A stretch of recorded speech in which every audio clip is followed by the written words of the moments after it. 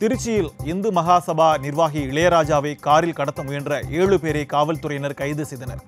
Trichy Gandhi market பகுதியில் நின்று கொண்டிருந்த அவரை காரில் வந்த கும்பல் கடத்தியது. இது குறித்து தகவல் அறிந்த காவல்துறையினர் காரை துரைத்துச் சென்று இளையராஜாவை மீட்டதுடன் கடத்தலில் ஈடுபட்ட ஏழு பேரை கைது செய்தனர். இது போன்ற முக்கிய வீடியோக்களை உடனுக்குடன் தெரிந்து கொள்ள நியூஸ் ஜே யூடியூப் சேனலை சப்ஸ்கிரைப் செய்யுங்கள்.